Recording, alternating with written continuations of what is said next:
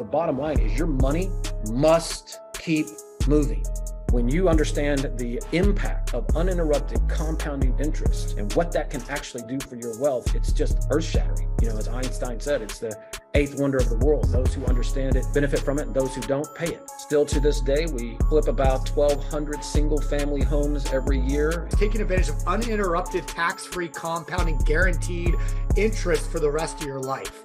But the real power in this is the concept and keeping that money moving at all times.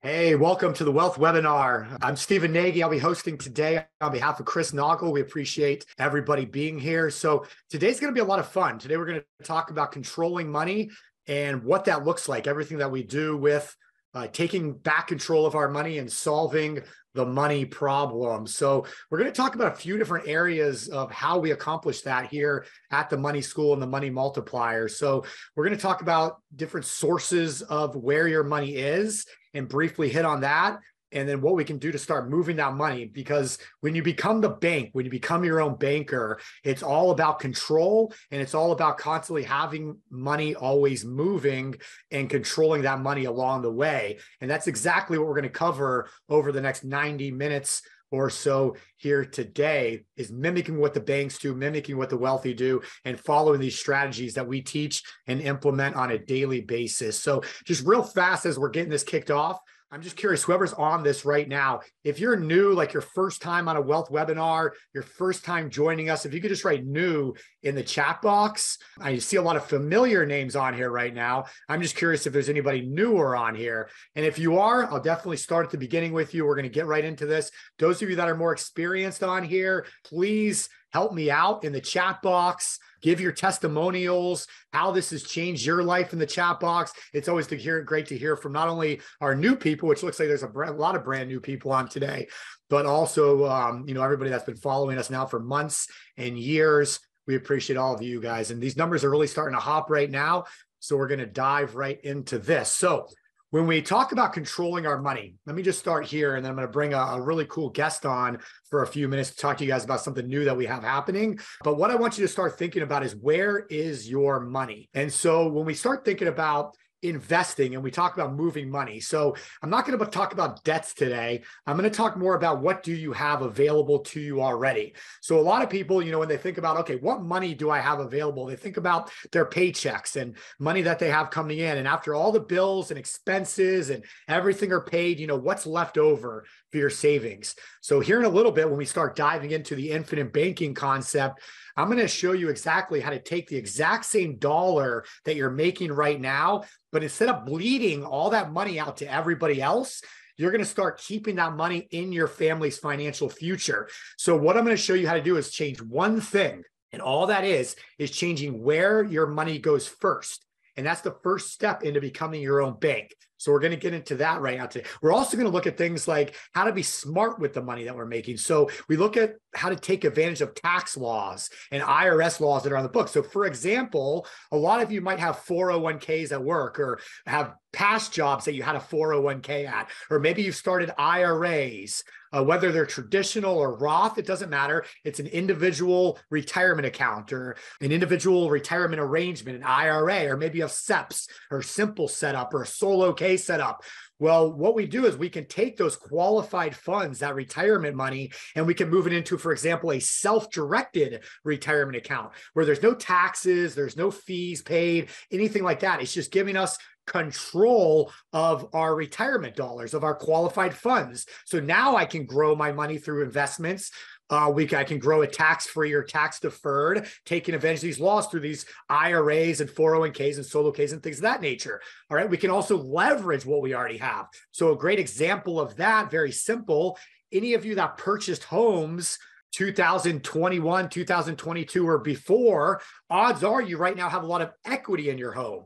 So if you bought a home for $250,000, that home is now worth $600,000. Well, you have $250 to $350,000 potentially in equity in that property. Well, most people are like, okay, great. Well, my house is worth more. My mortgage is going down. You know, I'm paying it off. That's all fine and dandy, but they're leaving all that equity out there. I like to think of it as you know, all the two by fours in your house and all the rafters and the drywall. That could be money that we dig into. We dock holes, we grab it out, and we put it to work for us. Again, moving money. So things like HELOCs and HELOS, so home equity lines of credit or home equity loan agreements. So tapping into what we already have and then making what's called a spread. So if I'm paying 7% on a HELOC and I'm making 15% returns on my money through like a direct private money loan or something like a private fund, well, I'm making an 8% spread uh, on money that otherwise is sitting there. Well, how much is eight eight percent? I mean, a hundred grand. That's eight thousand dollars a year. I mean, that's you know, that's that's money coming in. That's real money that can make a car payment. So we're being smart with our money. So where is our money? So that's what we're going to get into today.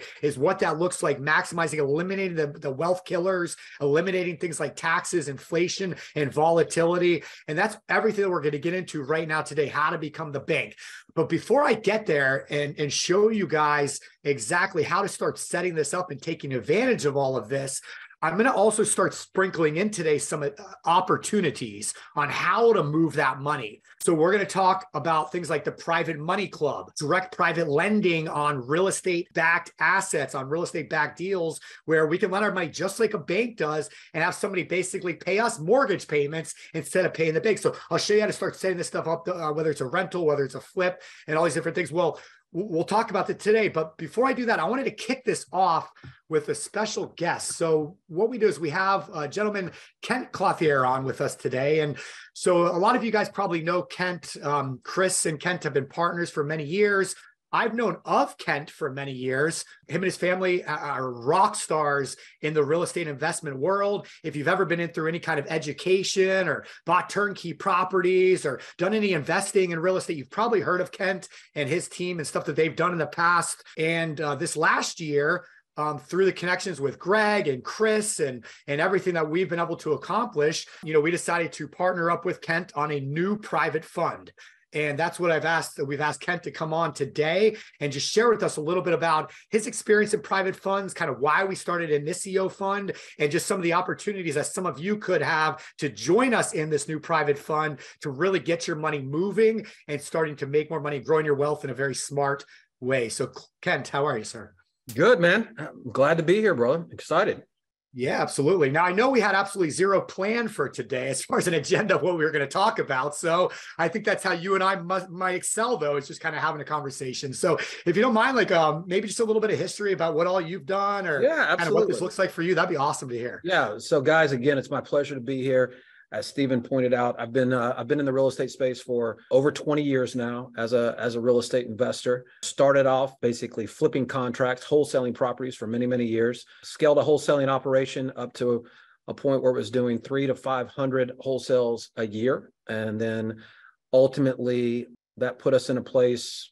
God, I guess probably 15 years ago, where we were getting a lot of attention. A lot of people trying to figure out exactly what we were doing and how we were so successful right through the last recession and growing a business during those times, especially in real estate, seemed like a fantasy for a lot of people. But for us, because we were using very specific systems and processes and leverage and techniques, again, we were very successful at it and got got a lot of attention, which ultimately put us in a position to start teaching people how to do that and then giving them the tools and software, et cetera. And we were kind of pioneers and all that back in the day. And been very, very fortunate because we've had about 100,000 people learn over our trainings over the last few years. We've had 35,000 software users and still to this day we flip about uh, 1200 single family homes every year in 11 different markets mostly turnkey rentals where we buy an asset and put uh, we rehab the asset we put a renter in place and we sell that asset to an investor as a turnkey investment where we then stay in place as the property management company.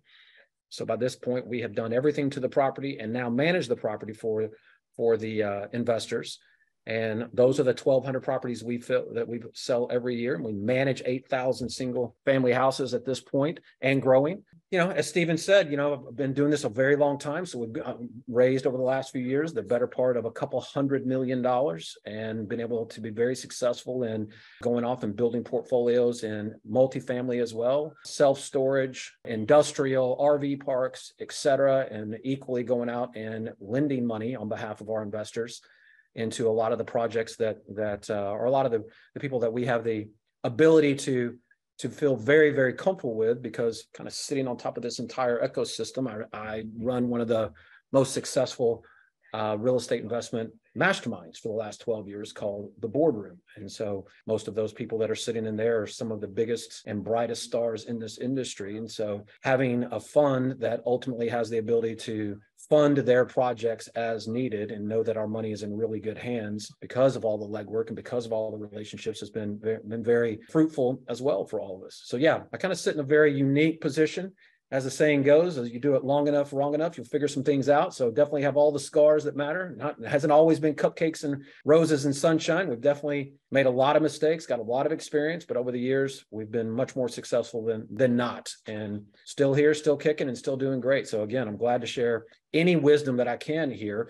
But as you pointed out, um, you know, Chris is a part of our boardroom mastermind along with Greg Herlean and others, and we have been, um, you know, I've, I've had the ability to to be a mentor to Chris and, and very fortunate now get the ability to partner with him and by virtue of that partner with you as well. And we have a fund at this point that we have started in the last six months called Inicio. And it is a it is an income fund. And what that is designed to do is as I just said, it is a place where as you guys are learning from Stephen and Chris exactly what the wealthy do to manage their money you know, I'm gonna just hit pause for a second and say that, quite frankly, you guys could not be in any better hands. Chris and I had known each other for a very long time, and a lot of the stuff that he had tried to stress to me over the years, I've, you know, I've been very fortunate that I've been wealthy for a, a long time here, but there were a lot of things that I did not really understand until Chris really took the time to break it down for me this is pre all all of what what what this is today, right? This is in the early early stages. And when he really showed this to me, to say that it was eye opening and enlightening would be putting it very mildly. Not only is it real, but it is it is an absolute. It is one of the things that I can tell you that once you actually understand it and appreciate how the tax code is written by the wealthy for the wealthy, how these vehicles exist, infinite banking and others, and were created by the wealthy for the wealthy to not only protect and secure their wealth, but to grow their wealth over generations, right? If you are very, very serious and intentional about that, then you are in amazing hands with Stephen and Chris to understand exactly how to implement those strategies. Because although they were designed by the wealthy and they're intended for the wealthy, the bottom line is the tax code and these vehicles, they're open to all of us. It is the difference between being ignorant and have a lack of understanding or being knowledgeable and not only having an understanding but executing. When you understand the the impact that of uninterrupted compounding interest and what that can actually do for your wealth it is it's just earth shattering you know as einstein said it's the eighth wonder of the world. Those who understand it benefit from it and those who don't pay it. You guys are sitting in a place where you get to do that. And so with that in mind not only our investments but i'm sure you know over the years you will be exposed to other investments. The bottom line is your money must keep moving when you have money sitting on the sidelines, it is dead. And not only is it dead, it is dying and by the day, right? And meaning the money must keep moving. It must be making money all the time. That is uninterrupted compounding interest, and you must keep it. And so you have to educate yourself and understand what all the benefits are so that you feel comfortable deploying your money and so that you feel comfortable and secure that your money is continuing to grow and that it's in an environment where it is with people who have understand and appreciate their fiduciary responsibility to take care of your money like it's your own. And so with that in mind, I mean, that is what we do with, with all of our funds, but namely this Inicio fund. I'll kind of explain what this is right now. It is a fund, it is a $12 million fund that is designed to do one thing and one thing very specifically.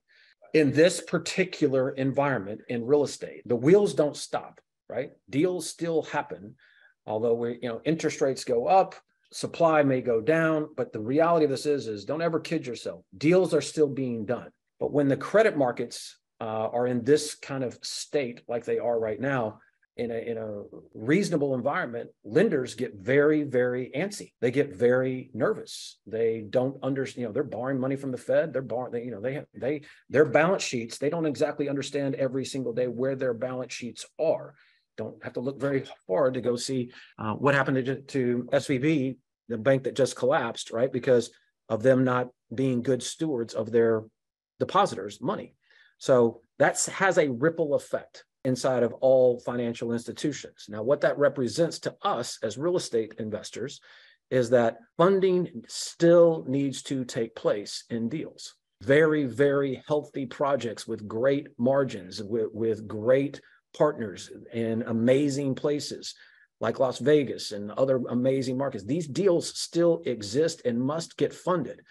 And which then puts us in a position that if we as a fund go through stringent due diligence to understand exactly what the needs are of the investors, we have the ability to go and deploy capital, half a million, 200,000, a million, whatever it is, into these deals and be secured in those deals in an equity position or through a first trust deed, meaning we have a lien on the property and we are, these properties are not highly leveraged and charge rates that might seem a little unreasonable in the open market, but in a market like this, they are very reasonable because there is no alternative. And there's the opportunity. And there's an act there. If we don't provide the money, somebody else will. And that interest and those rates will go to somebody else. And we've been around long enough to understand that in a little bit of chaotic times, these are the times where you get the opportunity to make significant returns if you are very smart and very diligent and very intentional. And so in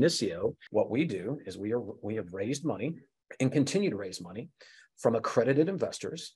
And so those of you that are accredited, you can invest directly into this fund right through Stephen, right through Chris. When you come into this fund, your money will be locked up uh, a minimum of three years. And on all likelihood, we'll have a five year timeline. We are then taking that capital, our partnership takes that capital in the collective and deploys it as a lender or investor into these projects. The target rate of return the fund is trying to create is a minimum of a 22% annual return. We do that through, again, a rate and term situation like a bank does on a loan, or through an equity position in the property where the property is sold. and We are taking a rake on that. The way the fund pays out to our investors is that we pay out a fixed flat, what is called a pref. So if you're writing anything down, I would tell you the way this is the way most funds work. So for those of you that have never done it, we are paying out what is called a 4% pref to our investors. What does that mean? That means before any other expenses are paid, before any other uh, distributions are paid to partners, et cetera, our investors get a flat 4% annually. Then after that is paid, then we turn around and we do a 70 30 split on all the revenue that the fund generates annually. 70 goes to our investors, 30% goes to us. Make the math real simple. If you take a 24% return annually, if the fund generated that, the first four would go to our investors, and then the next 20 would split 70 30, meaning then, then the next 14 would go to our investors and we would make six. So us as the partners, the people that are finding the deal, the people that are underwriting the deal, that are people that are managing the deal we are going to make 6%. Our investors in that particular example would make 18%. And so why do people invest in this? Um, why have we had no problem raising money? Why do we want to expose it? Because again, the opportunity to go and invest with real players that have access to real deals where you don't have to do any work. All you have to do is deploy capital and whether you do that out of a self-directed IRA or whether you do that in some other means, I mean, the bottom line is get the capital moving. If it can earn somewhere from a 15 to 20% return for you annually, hands-free and compounds inside of it, you can take the money out. You can take your proceeds out or you can allow them to compound right inside of the investment over and over and over over the course next three to five years. That is a very, very healthy and reasonable thing to do. Now, by no means would I encourage anybody, if you've got 250 grand and that's all the money you have to your name, you don't don't go put 250 in this. You want to have a lot of different investments going on, but certainly putting $50,000 in here and understanding that this money is going to grow over time. It's going to distribute to you every year uh, at a minimum of 4%. You're going to make 70% on all the returns, and that we are charging no fees. We get paid out of the 6%. That is a good thing and a reasonable thing for everybody. You get every month there is a newsletter that is sent out that shows all of the investments that we are currently deploying the capital into. As investments paid off, there's financials that will come out quarterly that will show you everything that has gone on inside the fund. It's no different than effectively owning a percentage of a company. That's the way to think about it. You are we are communicate on a financial perspective every quarter. You get an update every month. One of the projects that we just recently were very excited that we were brought into to help capitalize was there's a new Four Seasons residence that is being built just outside of uh, Las Vegas. And we were asked because of our relationships, because of my reputation, Greg's reputation, and others, and how long we've been in the industry, we were asked to be a part of that partnership group and come on to that cap table. It has broken ground. It is getting ready to go vertical over the course of the next few months. Every one of these residences is anywhere from three million to ten million dollars. Um, they have started selling already, and for us to have the opportunity to be part of the initial investment group through Inicio and get our investors as a part of that is very, very exciting. And so those are the types of deals that um, otherwise most people would never have any kind of exposure to. But because of who we are and our reputation, our investors get the opportunity to kind of play along right along with us. We all have our own capital in it as well. So, you know, everybody understands we wouldn't, nobody, we're not going to risk our own capital if we don't think it's a good deal. So we're sure as heck not going to risk your capital as well. And so I would tell you, if you want to know anything about it, Stephen's your guy. Like reach out to Stephen. He'll happily share anything with you. If, if Stephen wants to get me on a call or Greg or anybody else, I'm happy to do it with you and break it down. But we have an entire, you know, deck that we can send you and all the information. And again, I would highly encourage you if you have any money sitting inside of a self-directed IRA, for sure, this is a, a great investment because you can't touch that money till you're, you know, effectively 60 years old anyway. So why would you not put it into investments like this and allow it to grow? And I'll leave you with this: if you want to understand the impact that earning you know, hypothetically, somewhere in the neighborhood of 15% a year has on your money and in allowing it to compound in the investment. It's a very powerful rule. It's called the rule of 72. If you have a calculator on your phone or on your desk or whatever, if you take the number 72 and you simply divide it by the rate of return you're getting annually on, its, on an investment. So in this case, 15. So 72 divided by 15, the number you are left with, and in this case, that number is 4.8. That is how long it takes your investment to double. If this fund indeed creates a 15% return, then what that does is uh, inside of that five years, if you left it in their compound, it would double. That's what that 4.8 is. It'll take you 4.8 years for that investment to completely double. So you put 50 in there inside of five years left in there, it would turn into 100 grand. And I can tell you, as we've all watched a lot of stuff happen in a lot of our other investments, knowing that I could kind of hands free, being an investment that has the potential to double like that, all secured by real estate, all things I could go and drive and see and touch on a daily basis. That's a pretty exciting thing. So, Stephen, hopefully that was a good explanation, Bill. Yeah, no, I, I love it, Kent. I mean, it's uh, you, you hit all the points I was going to bring up um, to talk about. So I really appreciate that. We uh, just had a couple little questions coming in. You know, somebody mentioned like Chris Cronus, something similar. So there's a lot of private funds out there. For me, like on private funds. I've been invited over the years to be part of several private funds syndications, other types of deals like that. I've always declined on them because it was either newer investors, things like that, or just too much work involved on my side. When but when Chris came to me and told me it was Kent and Greg and Justin Colby and well, some of these guys that are behind this fund, you know, I didn't even think about it. I was all in 100% because I knew that these guys have the experience. And when it comes to private funds, not only are they managing the money, deciding on the deals, making sure that the deals are are done right and are the right profit margins, you know, they have the experience for that. But more importantly, where does the fund find deals? I mean, you guys all know if you're in real estate, the the, the money's made when you find the deal. I mean, then you do the work, but you got to find deals to make money in real estate. And these guys have the experience and, and the connections and, and, the community to to find these kinds of deals, like you just mentioned with the Four Seasons residences. I mean, we meet every week or two on on calls, and we go through the deals that the team is bringing in, the partners are bringing in. And it just it blows my mind that you know I hear on the phone call all the time from real estate investors, "Hey, there's no deals out there. I'm waiting right now." And then I get in with these guys, and they're like, "Hey, we got this deal, this deal, this deal," and they're all huge profit. It's like you know that's what it's all about. So just all the pieces added up for this initiative, and the fact that it's longer term right now, you know, three to five years is awesome because so many people are lending on like six month deals, getting the money back, waiting a month or two before the next one. So all of a sudden, that 12 or 15% annual return is actually more like eight or 10% because of the time that the money's sitting. So here you put it in there, like you said, you just let that sit in there, and every year it's growing and growing and growing. So the 70 30 split to 80 20 split, David was just asking, how does that work?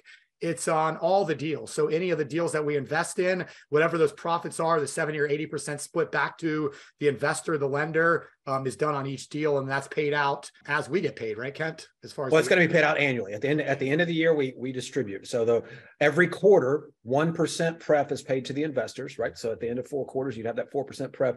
And at the end of the year, when we uh, get the audited financials and we will, we distribute there at the end of the year, just like in any other company. And that's where the 70 30 would take place, unless the investor says, hey, don't distribute to me. Let's roll it into the investment and let's keep going. Perfect. And the uh, the taxes are handled. I mean, it depends on where the money's coming from. In an IRA, it would just be tax deferred or tax free growth. If you're just lending cash or from a policy or something, it's just investment income. Right. Just like any other profit, David. So thank you for that question. All right, cool. Well, I just want to see if we had anything else, any other questions coming in. But yeah, guys, not, I would look. I'm I'm I'm easy to find, right? If you have any questions, feel free to ask me on. Uh, you can hit me up on Instagram at Kent Clothier. Make sure you're talking to the one that's got the uh, blue check mark. But I would highly encourage you to reach out to Stephen. I mean, he's your point of contact. He is an active part of this fund. Like he said, he's on every one of these calls. He's a part of the partnership group here.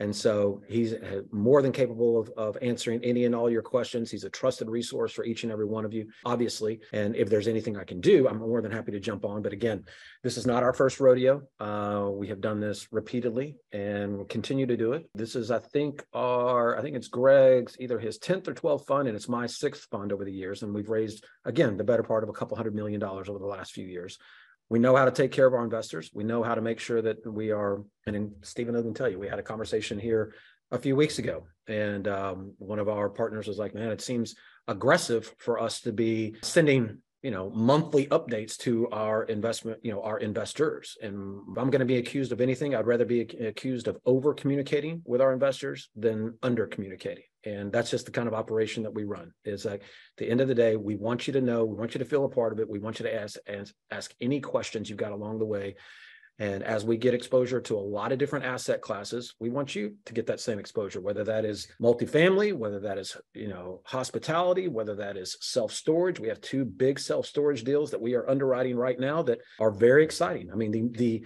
most recession resilient asset classes. And if anybody's writing anything down, I tell you to write this down. Historically, the most recession resilient asset classes in the United States that have always fared very well are multifamily, self storage, RV parks, and industrial. And those are all right on front and center uh, of what we're of what we do. And if we have the opportunities come along for us to diversify and to get in some other stuff that makes a lot of financial sense because of um, again rate, term, equity, whatever the terms of the deal are, we're going to do that as well. But we are very focused and have a very good understanding of how to benefit greatly in in these times right? And there's a real opportunity right now. Putting money out out there in a methodical and intentional way and uh, in a in a I don't want to call I don't want to say safe, but certainly in a safer way where people are really paying attention to the details and have the experience and have gone through this already. This is a big opportunity that's just sitting out there. One way or the other, I would highly encourage everybody to try to get involved as as whatever is comfortable for you. Get get some money out in the market right now because these are these are the times to take advantage of it. Yeah, absolutely. One more fun question for you, Kent. Appreciate your time today. Yeah. Where did the name Inicio come from? It means to, uh, it is Latin for uh, to inspire and uh, to start, to take action, to make things go. And so that is where it comes from. I'm a big, I'm a big guy, um, big action taker. Anybody that knows me knows that you can see it on the sign right behind me, right? The time is now. You know, I'm always about acting in the moment, go, go, go, that do not waste any opportunity that's in front of you. And I have, uh, I've lived my life by that creed for the last 20 years. It has served me very well. Everybody in my community knows all about it. I have a, you know, a lot of different stories of, of why I got to that place. And so as, as we were sitting down, coming up with the name of the uh, organization, it just seemed fitting that uh, kind of fits exactly what we're all about. Yeah, I really appreciate it, Kent, to stay, you know, this big in this industry for that many years, like you've been able to do. You have to do things right. You have to treat people right, your clients, your students, your investors. Otherwise, your reputation. You know, I've seen it happen to so many people over the years.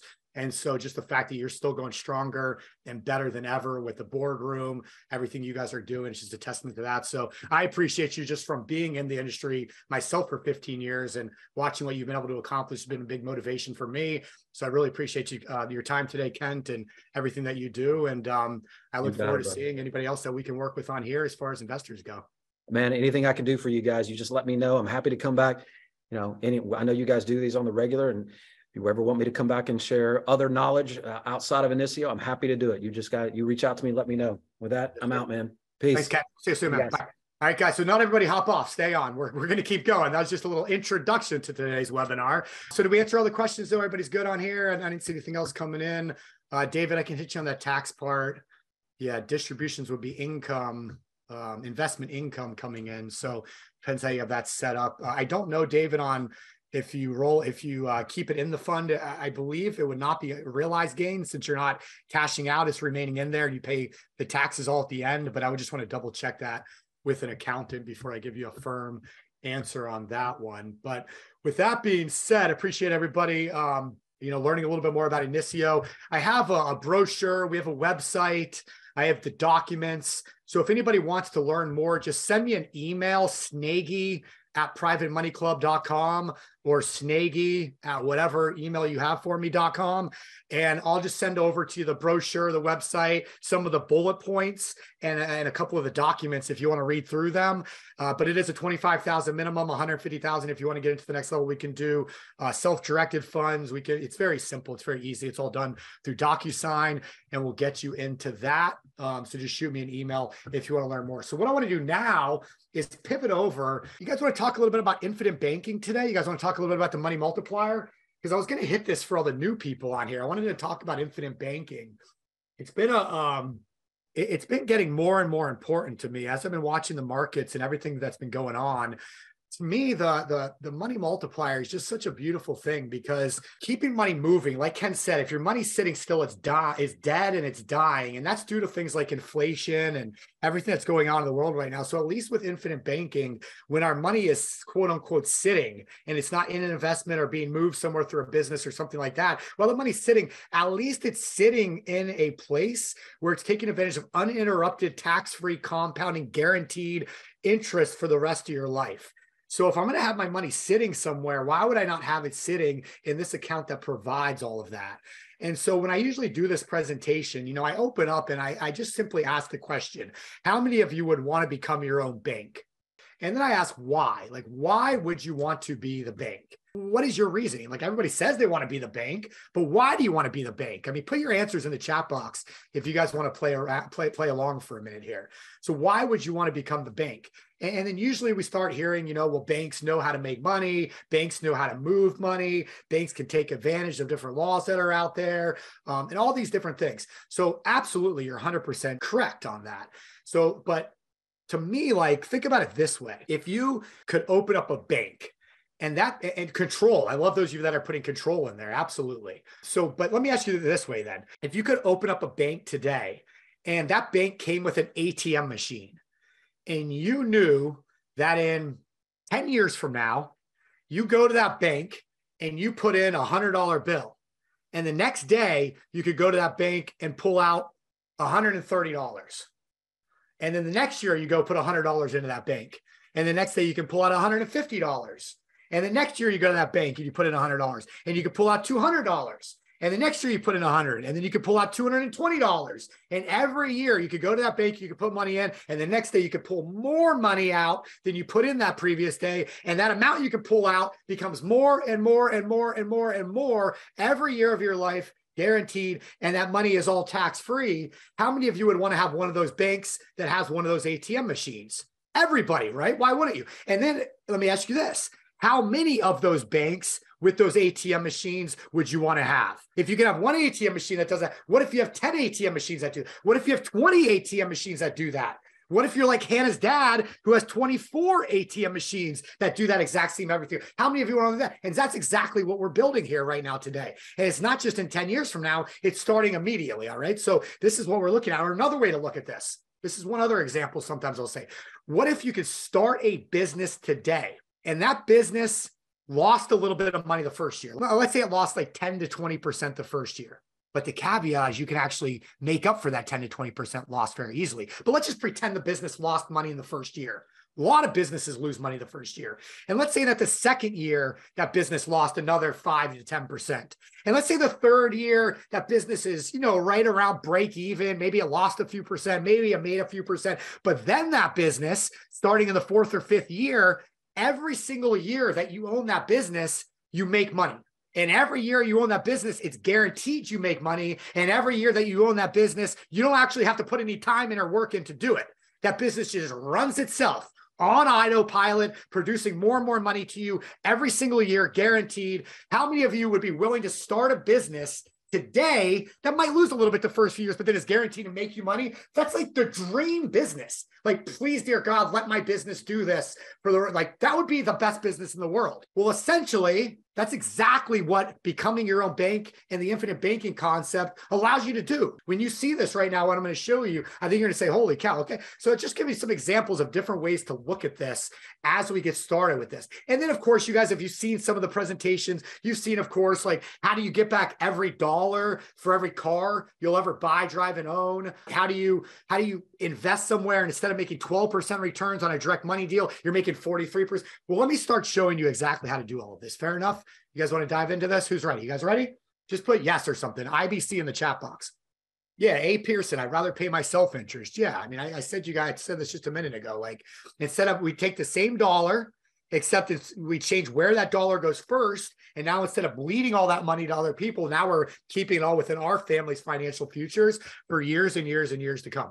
All right. So this is gonna be a little bit different than a typical presentation, but we're gonna have some fun with this. All right. So we're gonna we're gonna roll through some of these slides. We'll come back to that. We've talked a little bit about money and opportunity. So this is all stuff. You guys are experienced group. You're already following us. Go to the YouTube channels. Join us for all the webinars. This is what it's all about. We talked a little bit about this morning with with um, this afternoon with Kent already. So you're my five percent. So let's dig into actual infinite banking. Okay. Why aren't more? Don't worry about why people aren't successful. You guys are going to be successful. Three books, real fast before we get started. Second, I want you guys to read these books. Write this down. Robert Kiyosaki. I got these books back here too, right here. Robert, right here, second chance. Robert Kiyosaki, Second Chance. He talks all about the infinite banking concept. That's a good one to read. Anything by Tony Robbins, but Money Master the Game talks all about the infinite banking concept. I'm just giving you guys some additional resources. So from this today, you can continue to learn more before we hop on a phone call to help you get started. Okay. So these are just more. This one you have to read. I'm working on, but but you guys have to read this one. Becoming Your Own Banker by R. Nelson Nash. It's like the godfather of infinite banking. He started all this years and years and years and years and years ago. Unbelievable. You have to read that one though, Becoming Your Own Banker. All right, these next two I'm going to give you guys just for being on the webinar today. So, Mapping Out the Millionaire Mystery. This is a book that Brent Kessler and Chris Naugle wrote together a few years ago. It's like an updated version of Becoming Your Own Banker. So, Mapping Out the Millionaire Mystery, The Private Money Guide. And then I got another book but another one, how to get back all the money for every car you'll ever buy driving. So those three books, just for being on here today, I'm going to give you for free. Okay, they're digital copies. So what you're going to want to do is there's a couple ways that that um, you can do this, but this might be the easiest. So go to this website right here. Put that, put in your information, and what it's going to do is it's going to email you digital copies of those books, just for being on today. All right. So you can email me or uh, just click that link right there. And what that's going to do is it's going to bring up a screen. You put in your name and email, and then it's going to email you those ebooks. Uh, one of them is going to be like a drive. You can download it. One of them is like an email. You can download it. And then there's also a call calendar on there. If you want to schedule a call with me, uh, you can do it right from that link or email me and I'll send you the stuff too. Okay. So whatever's easier for you. Just, just uh, wanted to share that real fast. All right. Let's keep going.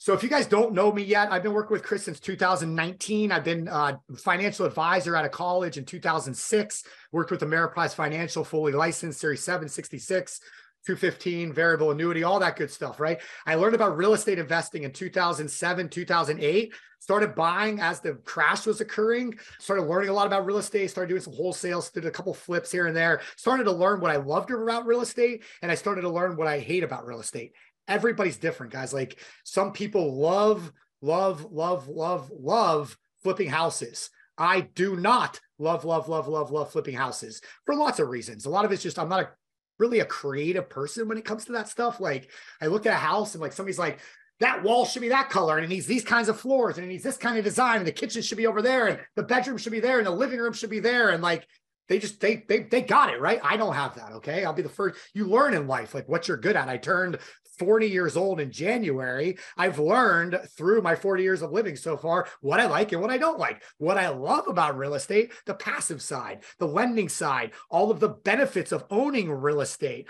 everything that real estate allows us to accomplish, whether we're dead broke today or whether we have millions of dollars in the bank today, real estate can allow us to make a lot of money no matter what side of that coin that we're on. And that's a lot of what Private Money Club does. We'll talk about that later. But that's what I love about it. I love teaching it. I love taking somebody that has nothing, knows nothing about it, and, and whatever their goal is with it, having them very successful in a short amount of time. I love speaking on it, teaching these concepts, working with people one on one, doing phone calls, like all of that stuff's what I love. But so all of us are different. Um, so I learned what I love about the business. What do you love? And let's hone in on that and have you do that. And maybe you don't know yet. Maybe you need to learn both sides, but that's what this is all about. So I've, I've spent the last many, many years traveling the country, working with thousands of students. Um, when it comes to the infinite banking concept, I've now helped uh, over a thousand people get started with their own infinite banking concept systems. You know, Chris and I have really been able to grow this where we now have five or six different money mentors helping get people started and, and and really are, are are doing a lot of fun things right now with different events and and trainings and everything going on. So I encourage you guys to follow us. Um, if you don't already, the YouTube channel at the Chris Naugle at Private Money Club. We do Money Club Mondays every Monday. We do multiple shows every Wednesday. Again, if you guys email me or click that link that I put up a minute ago, I'll send all this to you so you can follow along. Follow me on Facebook. Just find me Stephen Nagy on Facebook. I think it's Nagy Leadership at Nagy Leadership across all my social media. I don't really do Instagram, but sometimes the stories and things. So follow us. We're always posting all the cool stuff and updating, and we do market updates and stuff like that. So, anyways, all right, enough of that. I'm down in South Florida, by the way, if you can't tell by the picture. All right. Your real estate business lives and dies by the network and the connections that you make. I mean, after all, your network, well, it's your net worth. That's what you always heard, right? If that's an area where you desire improvement, well, Private Money Club, it's for you. PMC saves you precious time and money by bringing the real estate world, well, right to you, right in the palm of your hand. So get in on the action like so many others have by going to privatemoneyclub.com and sign up. So here's a real basic concept. If you're new to this, pay attention. If you if you know the answer to this, please don't answer. All right. So if you're new to this, can you make money earning 4% while paying 6%?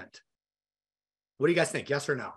Can you guys make money earning 4% while paying 6%. Let, me show you guys what I mean by this. All right.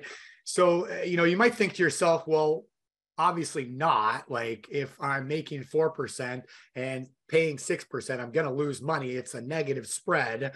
And you said before, you're going to make money off spreads, where if I'm borrowing at 7% in a HELOC and I'm making 15% on a private loan, I'm making a 7%, 8% spread.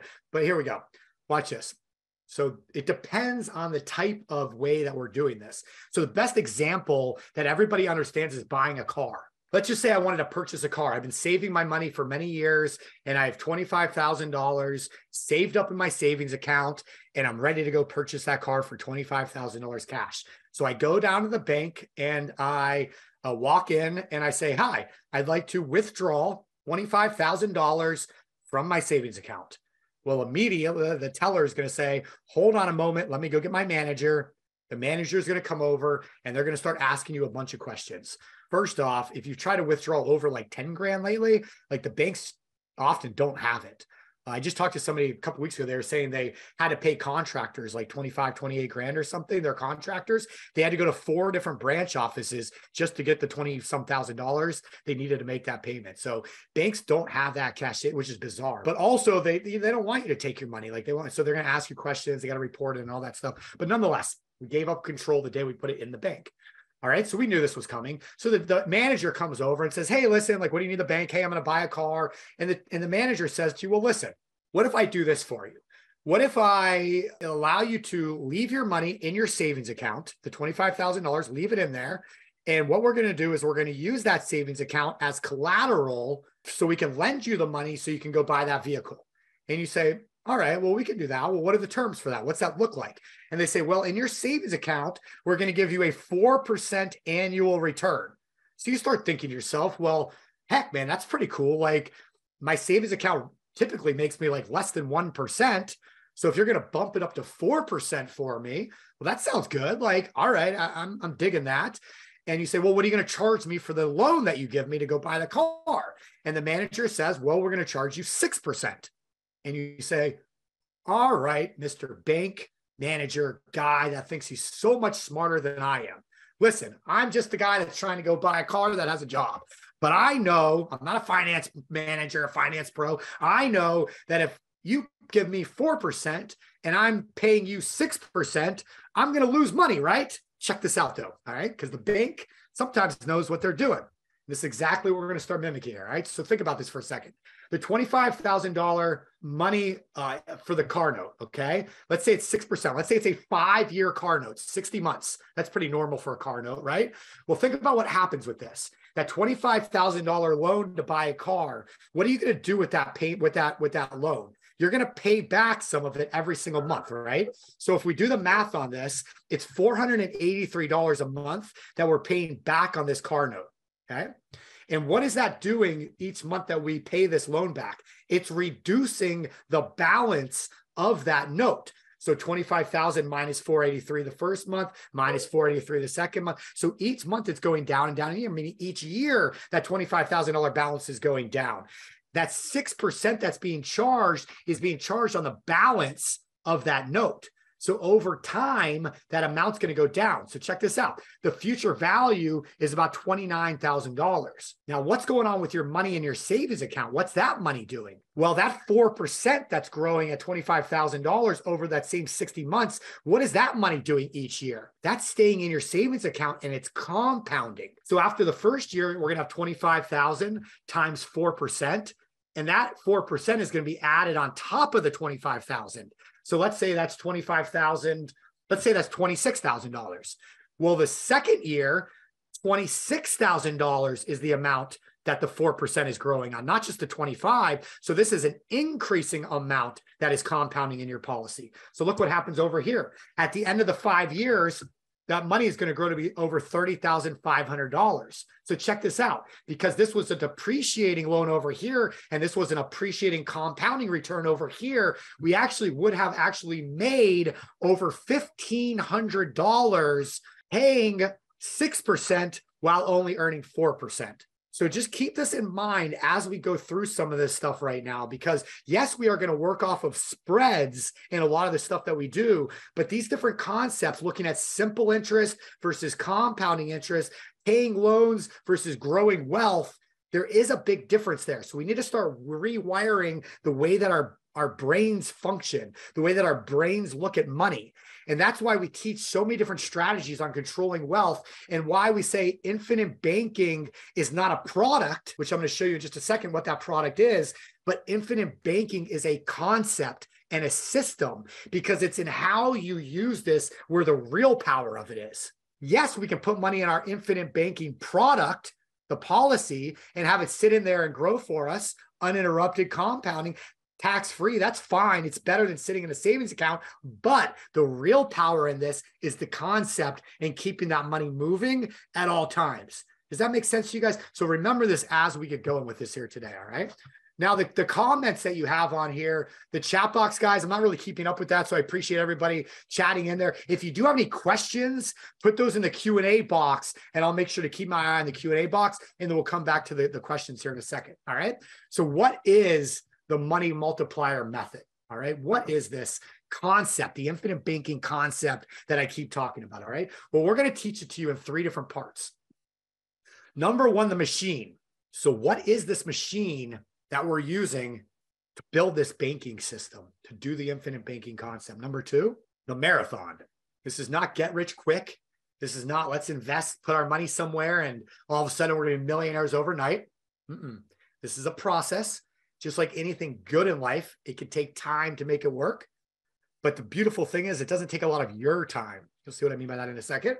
Number three, what everybody's favorite topic, the millionaire. So, how are we going to use this machine and this marathon to create wealth, to create the millionaire, to create generational wealth for, for, for kids, grandkids, generations to come? Not only to help us today, but also, also help us for for years and lifetimes to come. And that's where it becomes a lot of fun. That's where we can start talking about things like real estate investing and the private money club and the Inicio, Inicio Capital Group's private fund, things of that nature.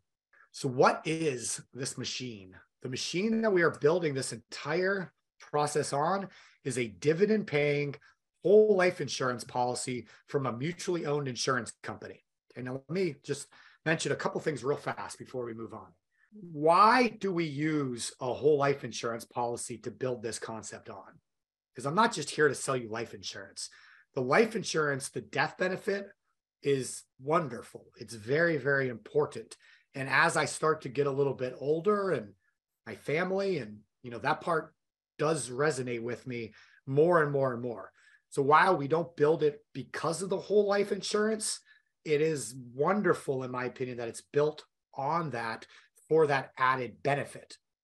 But the reason we use a whole life policy to build this on is because there's no other vehicle out there in the world, the United States of America especially, that allows us to do what we do with this concept and the way that we run money, keep money constantly moving through this policy. There's nothing else out there in the world that allows us to do this. I mean, if you look at the perfect place to put money, like I said before, a bank with an ATM machine, you would want to have tax free growth. Whole Life provides that. You'd want to have guaranteed growth. Whole Life provides that. You'd want to have little to no volatility. Whole life policy provides that. You'd want to have liquidity, accessibility to it. These specially designed whole life policies provide that. Compounding, uninterrupted compounding interest.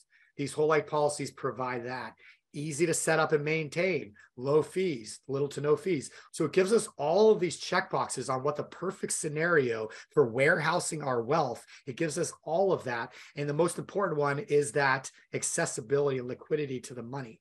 Because not only are we putting our money into this thing, but immediately we're going to be able to access that money to pull it out and get that money moving to make more money in real estate deals and business ventures and opportunities and whatever it is that you're investing in while simultaneously the money's over here compounding. So we're putting it into here and we're using that money to do these things, whether it's paying off debt, whether it's purchase, making purchases, investments, whatever the case might be. So just wanted to make that. Now, also, this is not a policy. You go to Policy Genius or call up the insurance company or your friend or your networking group person or whatever. These are specially designed and engineered for us to build this for your benefit. Uh, we have to give up 60 to 90% of our commissions most agents aren't willing to do that. We have to really study and learn and constantly improve our way of designing these policies to benefit you to the max. We have to understand your situation and your goals to build these to benefit you to the max. So we specially design and engineer these specifically for each one of you, custom to you for this concept. This is all we do at the Money Multiplier. This is all Chris, myself, our team does all day, every day is build these specially designed and engineered policies. So the company that you use also. So, you know, there's a lot of mutually owned companies out there. Not all of them are great for what we do with this. So we found the best companies to use for this process, the longest track records, financially secure, the best of the best insurance companies and then we design these specifically for you this is all we do so no you don't go out and, and talk to your existing agent to do this also this is how we get paid i mentioned we give up 60 to 90% of our commission to do these policies, but we do a lot of them. And we do not charge you for any of this. So the consultations, the questions, the setup fees, the setups, the approvals, the ongoing support for years and years and years to come for the rest of your life, you pay us zero dollars ever. We get a direct commission from the insurance company for bringing them the business. That's it. So just want to make that very, very clear right now what is going on here. So we're going to build this thing on this, and you'll see examples of how this works as we get going. In fact, banks are the largest purchasers of whole life insurance in the country. It's something called BOLI, bank owned life insurance. You guys can Google this stuff. So write this down and go check it out later type in BOLI, bank owned life insurance. So this is why everybody at the bank is a, is a vice president, right? You always see VP of whatever at banks. It gives the bank an insurable interest to purchase a policy on that individual. And banks know how to make money. We agreed before. Let's mimic what the banks do. This is what banks are doing. So does it make sense for you to do it also? Probably, right? Um, and I have lots of examples of who's used this over the over the years. People like Jim Harbaugh was the highest paid college football coach in the country um, and a large part of his salary and, and um, compensation comes through specially defined, um, specially designed deferred comp whole life policies. Joe Biden has a bunch of these things, a half a dozen of these policies. Why? Control, uh, protection. They're protected from from outside people. They're very private. These whole life policies. So lots of reasons. People like Walt Disney started Disneyland using whole life. Um, Doris Christopher of the Pampered Chef. I mean, I could go on and on. Ray Kroc of McDonald's. Again, you guys can research a lot of this stuff. The Rockefellers, the JPs, the Morgans, the Chases. You know, some really good books. Um, how privatized banking really works. What would the Rockefellers do? I mean, there's so many good books out there on some of these families and how they've used this over history. So just wanted to throw a few of those out there for you guys. All right. So let's get back to um, how banks move money so we can start doing the same thing when it comes to these policies. What do banks do? All right. So let's say banks, we're going to start. So again, this is looking at spreads. This is a pretty simple example, but how do banks work? So if you take $100,000 and you go deposit that money at the bank, the bank is going to take that money and they're going to start moving that money. All right. So they do things through like mortgages. So if they're paying you 4% in a savings account and then someone goes and purchases a home, well, they're going to get that home mortgage from the bank. The bank's going to charge them 7%. They take that money from the bank, they give it to the seller. The seller takes that money, and what do they do with it? They put it right back in the bank. So the bank just does this over and over again. Things like cars, things like home remodel loans, things like debt consolidation loans. So the bank is constantly keeping this money moving. So they're paying you 4%, but what do they just make doing this? Well, they made 3% spread on the mortgage, 4% spread on the car note, 5% spread on the home remodel loan, 8% spread on the credit card debt consolidation loan. So at the end of the day, they just made 20% on your money. But in reality, it was actually a lot more than that, right? Because if they're paying you 4% and they're making 20%, that's a 5x return, five times what you're making. So they're really making 500% off of the money that you're leaving parked at the bank in a checking, in a savings, in a money market, in any of these types of accounts that they have. They're making, and in fact, it's actually a lot more than that. There's a company out there that researches banks. Go check this out BauerFinancial.com. And BauerFinancial.com tells us that banks make between 400 and 1300% off of money that we leave sitting there at those banks. Banks know how to make money. We want to keep that money in our lives. Okay. So I'm going to show you exactly how to start doing that right now. Stop making the banks rich and make you and your families rich moving forward. Fair enough. So, how do we start doing this? All right. Well, it's going to start with where our dollars go first. And to understand where our dollars go first, let's look at what people spend money on. All right. Now, this is um, this is an average. And, and these numbers have changed just a little bit, but let's take a look at this. All right. So most people, if, if for every dollar that they make, about 20%, 20 cents, 20%, 20 cents of that dollar goes to an automobile. So it could be payments, gas, upkeep, whatever. 30% goes to housing.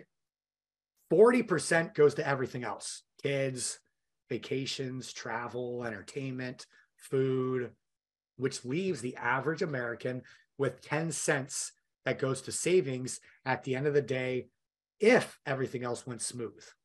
And actually, we're starting to see right now savings rates really decline and credit card usage really increase, uh, which is an opposite of what was going on during COVID. But now we're kind of inverted back and it's going in the wrong direction.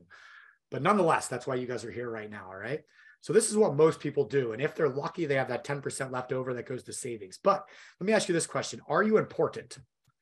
Meaning, like, would you value your life and your fa- family's lives over like the automotive, like like a BMW, or over like you know going out to the bar and spending money or something like that, right? Or, or even like a fancier house or something like that. All right. So, what I want you to do is start thinking that you're important. Because if we can start remembering that we're important and paying ourselves first, watch how much this can change what your financial future looks like.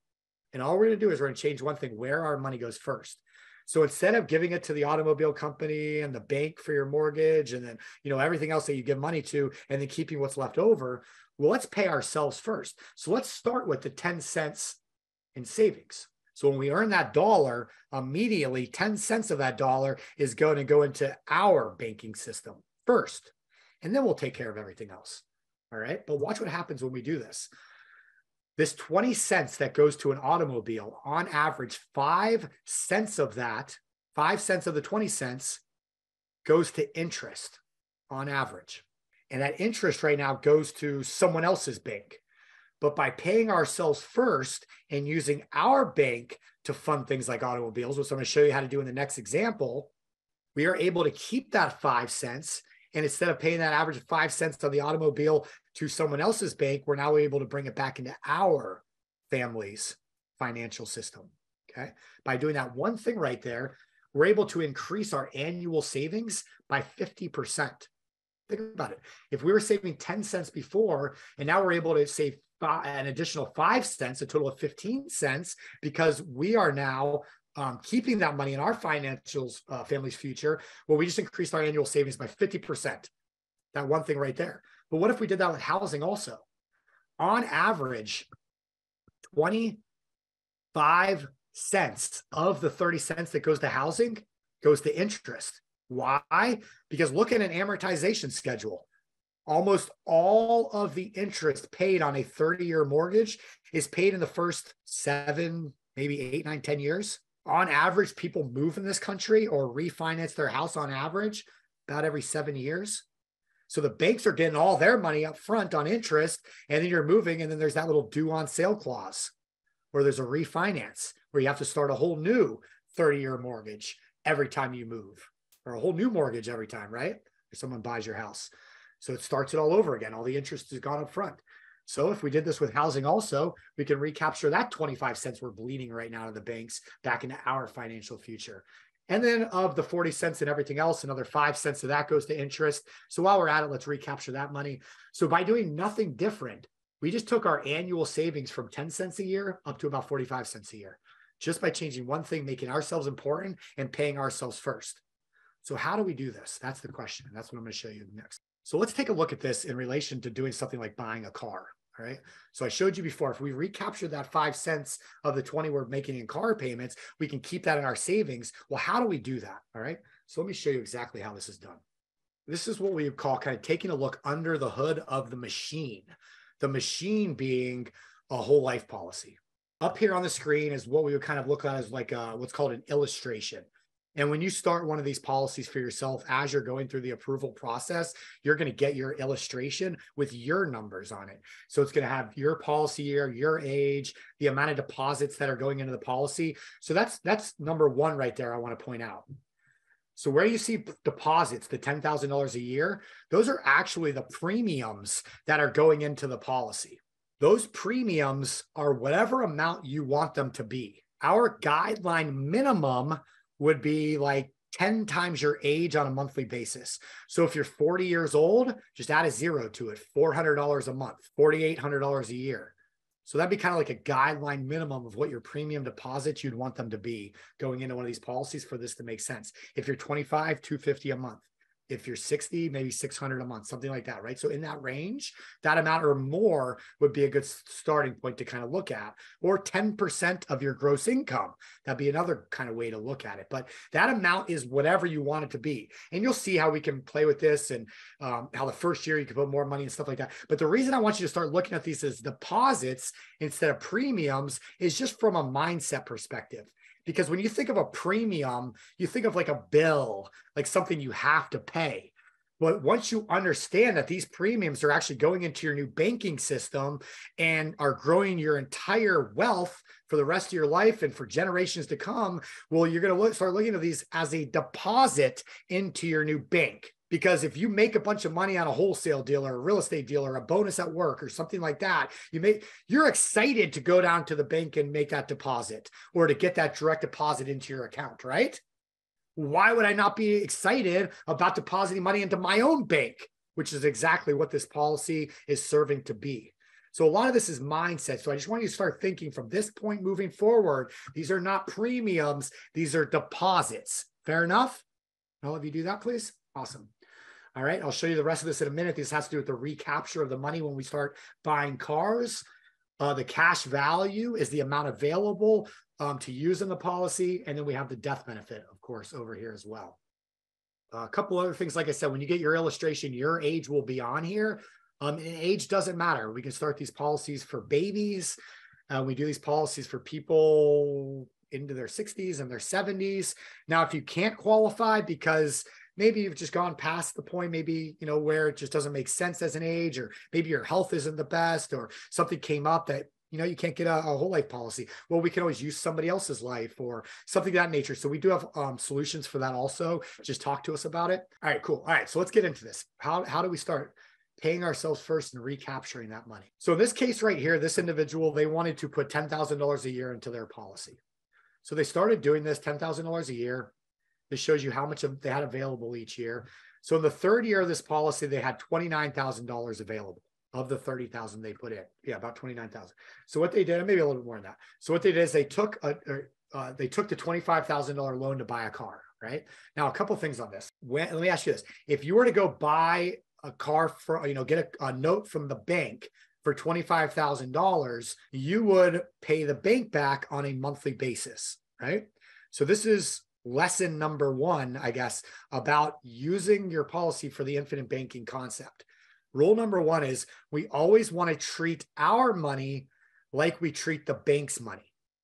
let me say it one more time. We always want to treat our money like we would treat the bank's money. So if we would pay the bank back if we were to take a car loan, well, if we took a car loan from our bank, does it make sense for us to pay our bank back? Absolutely. And we'll help you set this stuff up. But basically, what we're going to do is we're going to set up a schedule in this case, where you're paying yourself back $500 a month.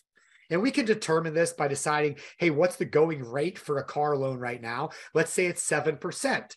Well, what we could do is we could take $25,000 and we can run it through a financial calculator at 7% annual and, and come up with exactly what that monthly payment would be. And then we can just start paying ourselves back each month. As simple as that. And we have a whole mapping team, implementation team that's going to help you with this. And we'll create the sheets for you. So all you have to do is follow it. But I just want to teach you a little bit about the inner workings of what this looks like. All right. So each month we're going to pay ourselves back for a total of $6,000 each year. We're paying ourselves back. We're going to take that money, just put it right back into our banking system, which is this policy. So we can use it over and over again. So what does this look like? So over the first seven years, we put a total of $70,000 in premium deposits into the policy. We took a loan out for $25,000 to buy a car. We recaptured the money just like we would the bank's money back into the policy for a total of 30 years, you know, over 60 months, five years, a total of $30,000. So, so far, we put $100,000 in. We took $25,000 out. So, a net injection of $75,000. So look how much is available in our in our policy to use right now, $67,000. So what does this just tell me that happened? This tells me I purchased a car that I now have sitting in my driveway for $25,000 completely free and clear and my account still has $67,000, 68,000 of the $75,000 that I put into it. So I've recaptured 91 cents of every dollar to buy that car, or 91% of that money that I used to purchase, I've now recaptured back to myself. Okay. So not bad. I still have the car sitting in my driveway free and clear. I could do what I want with that, keep driving it, sell it, whatever. But I've recaptured 91 cents. But I told you a second ago, I'll show you how to recapture all of the money for every car you'll ever buy, drive, and own in the future, right? Well, here's the beautiful thing is this doesn't stop after seven years. This keeps going. So let me show you what that looks like. So in this scenario right here, just to prove my point, we're going to stop putting money into this thing after the seventh year. So this 10 grand is going to stop going in. Now, in reality, that 10 grand would keep going in for the first 10 years, and then that amount would drop by about I don't know, 50 to 75% or so. And then that smaller amount would continue to go in. And you'll see in just a second why you'll want to never stop putting money into this thing in just a second. But for this example, just to prove my point, let me show you exactly uh, what this looks like. All right. So in the eighth year, we put no more money into this policy, but we purchased another car for $25,000. Exact same thing. We pay ourselves back the 25 grand, treat our money just like the bank's money. But over here in our account, the money's going to continue to compound and grow for us. So after those 12 years, We put no more, new money into it. We took 25,000 out and we recaptured with interest that money back into the policy. So technically we net injected 50,000, 5,000 in. But look what happened. The policy grew from 67 to $91,000. It grew by over $23,000. We just put five grand into it. We now have $91,000 in our account. We have two vehicles totaling $50,000 free and clear sitting in the driveway, $91,000 sitting there in the account ready to use. And we've now recaptured all of our money to buy, drive, and own those two vehicles. And then we can just do this over and over and over again and recapture all of the money for every car we'll ever buy in the future. And if this works for cars, what else would it work for? Airplanes, boats, expenses in your business, real estate? You tell me. But to make this work, we do have to follow three rules for infinite banking. Rule number one always pay yourself first. Rule number two always treat your money like the bank's money. And rule number three always recapture and recycle your money. So I'll just put those on there. Pay yourself first, treat your money like the bank's money, and pay yourself back with interest. And always recycle and recapture your money. But here's the difference is if I'm in year three of paying back the car and something financially happens to me and I can no longer make that car payment for a few months, what's going to happen? Well, odds are BMW or Honda or Acura, whoever your loan is through, they're going to send a tow truck driver out and they're going to repossess that car. They're going to tow that thing back off, right? But here's the difference. If I'm being my own bank and I'm using my own money, who's in charge? You're in complete control the whole time. You're in charge. So what I'm going to do is I'm going to say, "Hey, Stephen, listen, I uh, I borrowed the money from you. I'm looking at myself in a mirror, and I'm going to say, "Hey, I borrowed the money for this car, but I got to I can't make payments for a few months. You think I can get a break?" I'm gonna look at myself in the mirror. I'm gonna say, you know what, Stephen, you're a good guy. I really like you. And so I'm gonna give you a break. We're not gonna repossess your car. Just please start making payments again whenever you can. Fair enough. Because I'm in control. I'm in charge. I'm the banker. It's my bank. I make those decisions. So I'll probably cut myself a break, right? But it's up to you. That's the whole point right there. So this is what it's all about right here. These are the basics of how we're going to start paying ourselves first and then becoming the bank to keep all that money in our financial futures for years to come.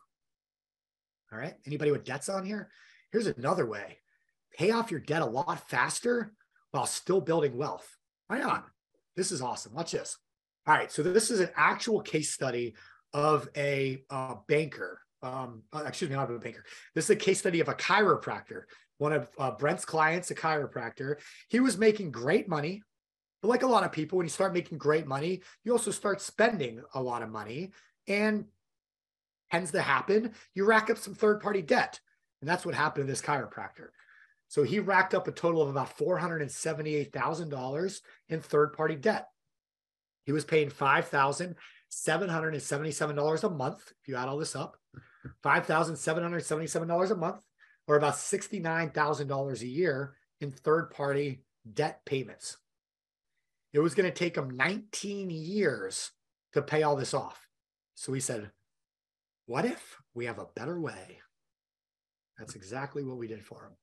So check this out. What we did with this chiropractor is we started a policy for him, putting $25,000 a year into it. Again, it's up to you how much you want to put in. 2500 a year, 25,000 a year, 250,000 a year. How much do you want to put in? It's up to you. When he put the 25,000 in, he had 14,863 available to pull back out to use. So you'll notice on here, he doesn't have access to all of the money that he puts in. Okay, remember I was saying how you might have access to a little bit less. So we can build policies these days with higher cash value. So if you want closer to like 20, 22,000, something like that, we could build it at higher cash value. But nonetheless, this was built um, with long-term growth in mind and not as strong a cash value the first couple of years, but this thing kills it. Watch. This is really cool. So what we did is we took this $14,863 out of the policy and we paid off the Discover card, we paid off the Lowe's card, and we paid down the Nordstrom balance. So now we were able to eliminate these monthly payments going to Discover and Lowe's. So now he has $5,329 going to third party debtors and $448 that are no longer going to Discover and Lowe's. However, let me see if you guys are following. That $448 a month that was going to Discover and Lowe's, what are we going to do with that 448 a month now? What do you think we're going to do with that $448 a month that was going to Discover and Lowe's? Uh, what do you think we're now going to do with that $448 a month? Snowball it, pay down the next loan, pay yourself back. So exactly. So those of you that said snowball, pay down the next loan, this is exactly what we're going to do. So we're going to, we're to take that 448 a month and we're going to pay it back into what we call a segregated bank account. So this is important when you start a policy, you start the infinite banking concept, we're going to recommend you open up what's called a segregated bank account. And all this is is a separate checking account. And that separate checking account is going to help you track and account for the ways that you're using this policy. So when you take the money from the policy, it goes into the segregated account. From there, we're going to deploy it to wherever it needs to go. And then we're going to recapture that money back into the segregated account. So we can either use it over and over or get it from there back into the policy. So we can then borrow again and use it over and over again. All right. So it's just like a little holding tank for our money to go between our banking system and whatever we need to use it for. So in this case, we're going to take that 448 a month and we're just going to start putting that back into the segregated account. So then we can use that to deploy it to pay off the rest of these loans here in just a second. Very similar to how velocity banking is done. Second year, 25,000 goes into the, depo- the policy. Now you notice the second year, there's 16,500 available. Remember the first year, there was only like 14,000 available. Each year, the amount of money that you have available to pull back out is going to be more and more for the rest of your life. You heard me talk about this at the beginning. We also have $5,300 in payments available to us. What are those payments? Again, that's the 448 a month paying ourselves back into the segregated account that built up over the year, 5,374. So we now have 22,000 the cash value, the segregated account, 22,000 available to tackle the Nordstrom, the Wells Fargo, the private loan and pay down the BMW. So now we have $3,800 going to third party debtors and $1,900 going to our segregated account each month. Year three, same thing. 25 in, 25 available, 23,000 in the segregated account, total of $48,000. Pay it down, pay it off, pay it off, pay it down. 3600 going back to our segregated account, $2,100 going to third party debtors. Now, let me make sure you guys are following real fast. This is how the marathon works. How much do we put into this thing so far? $25,000 a year for the first three years, 75,000. How much do we take out to pay off debt? 14, 16, and 25, a total of $55,000. So if we put 75 in, we took 55 out to pay off debt, how much is left remaining within the policy? What do you guys think? Put in the chat box. That's what you would think, right? The answer is actually $75,000. And the reason for that is because when we put the money into the policy and we take the money out to use it, when we take the money out, we actually, it comes out in the form of a loan. Just like with that car example at the beginning, what the insurance company does is the insurance company uses your policy as collateral and they actually loan you the money from the insurance company's general account using your policy as collateral. And what that allows to happen is it gives you access to all of that money, in this case, $55,000 so far, while the entire 75,000 through premium deposits that we put into that thing continue to compound and grow uninterrupted every year for the rest of your life. Compounding interest, you have to take advantage of it. All right. And this is how we do so. So I just wanted to make that clear. That whole amount stays in there compounding. And here's the other beautiful thing about it is like we were joking before about repossessing the car. Those loans that we take from the policy, they don't have to be repaid.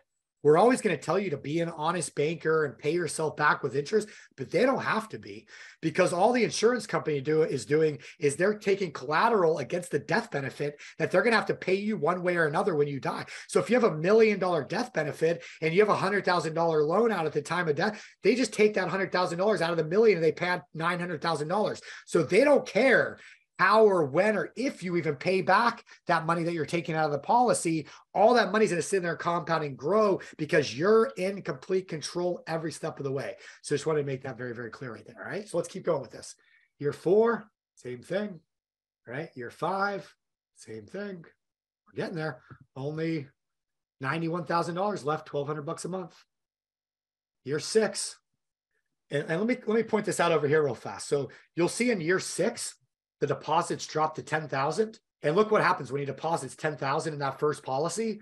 He has 13,000 available in the sixth year. That's a 30% cash on cash growth on his deposit in the sixth year of this thing. And you'll see in the seventh year, it's more. In the eighth year, it's more. It's just more and more and more and more. But what happened is he was limited because of MEC rules and IRS regulations to only 10,000 instead of 25,000 going in starting in the sixth year. Now, for you, because of some new rules and laws and things like that, this will happen in like the 11th year instead of the sixth, which is awesome for you. But for the chiropractor here, it happened in the sixth year where his deposits dropped from 25 to 10,000. But the chiropractor loved what he saw over the first five years, and he wanted to put more money into the policy, not less money. So the chiropractor decided to do what? He opened up a second policy. He opened up another policy. So now he has his first policy continuing, he's putting 10,000 a year into, and his second policy that he now can put $25,000 a year into. But look what's available in cash value. Again, the first policy ta- is, is already efficient. So he's making money on every dollar he puts in. The second policy is not efficient yet. It takes a few years. I've mentioned this several times already, right? It takes a few years. So he's starting over in the first year of that second policy. But nonetheless, he was happy with it. I'm happy with it. Are you? So we took that in the sixth year of this thing. We paid off all third party debt. Now, all of that money, all of that interest he was giving to everybody else every single month, he now is doing what? He's still paying it, but he's paying it back to himself. So all of that interest is now growing in his family's financial banking system and his family's financial future, growing their wealth and growing their world every year for the rest of their lives. Right. So he's now keeping that in and he's no longer bleeding all that money out of there. So this is what we call a debt map. And we'll do this for you also. Okay. I mentioned before, when you start a policy with us, you don't pay anything. We, we, make our money from the insurance company, but we provide unbelievable service and support to help you use the infinite banking concept. Why? Because if we know if you not only start this now, but use this the right way, guess what? You'll want to open additional policies just like the chiropractor because you'll see the value and how powerful it is firsthand. You'll want to open policies for your spouse.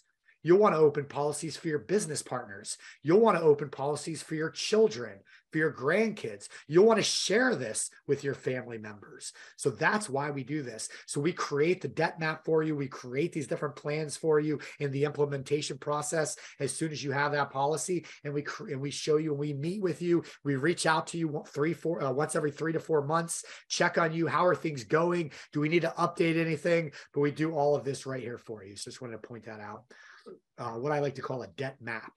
Where are we today? Where do we want to go? Let's create the absolute quickest and most efficient way to get you there uh, as possible. So it starts with the initial consultation. It starts with what are your goals? What does your situation look like today? Do you need to get out of debt? Do you need to invest? So let's set up the policy properly from the start. So the way you can schedule a call, I'm going to put it on the screen one more time. You can email me, snagy at themoneymultiplier.com, snagy at privatemoneyclub.com, snagy at chrisnaugle.com, whatever you email, send me an email. I'll send you some resources. I'll send you the call links to schedule a call with myself or one of the money mentors. Or if you already have a call schedule, say, hey, I was on Wealth Webinar um, you know, watching Stephen today and just wanted to follow the strategy that he was talking about, and we'll make sure we get that set up properly for you. Um, or uh, and again, if you go to that link right there, uh, the ca- call calendar is on there. You can get all the ebooks as well, or you just go to nagyleadership.com. It has all my social media and everything right on there for you also.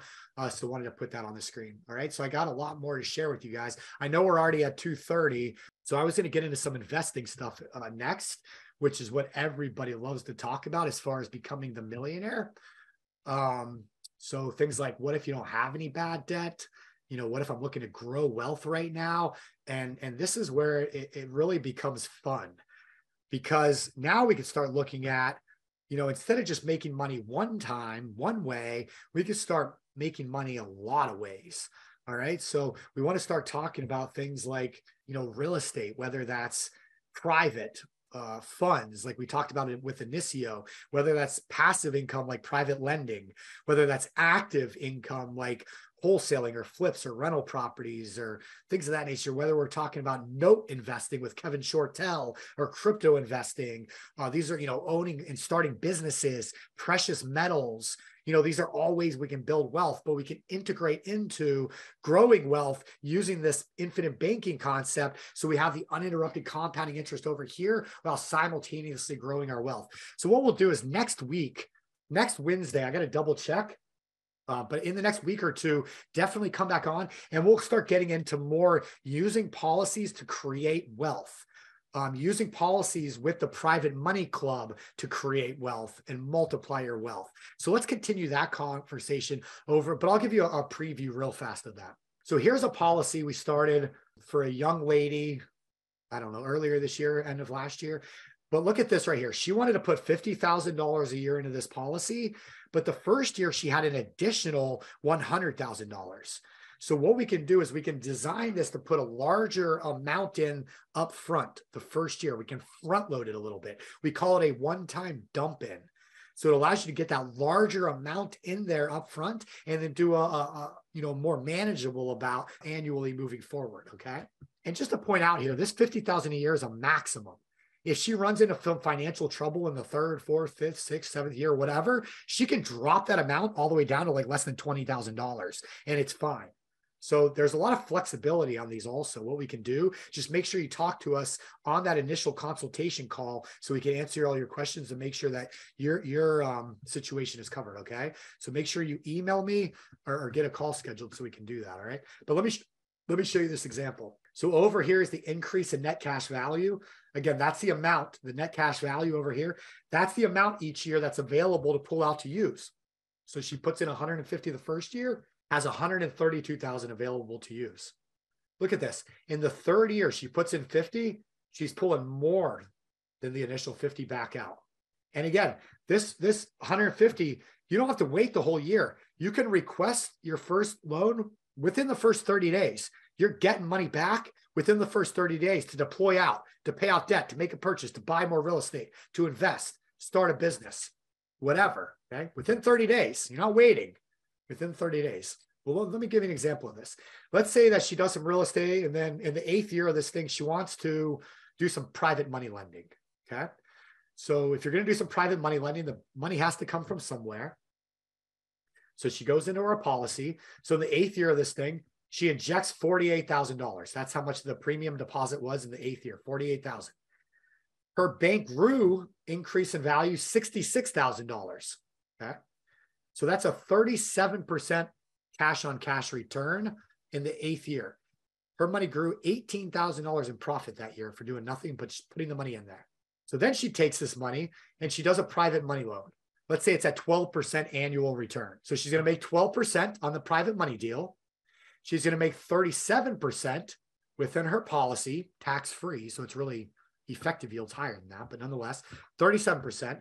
Now she's going to pay 5% interest on that loan from the insurance company. Because when you take the money from the policy, the insurance company charges you uh, right now anywhere between like five and 6%. Um, annual simple interest on that loan. But let's just say they have the money out the entire year. So she pays the whole 5%. So she just made 12%, made 37%. She paid 5% for accessing the money. So she just made a total of 44%.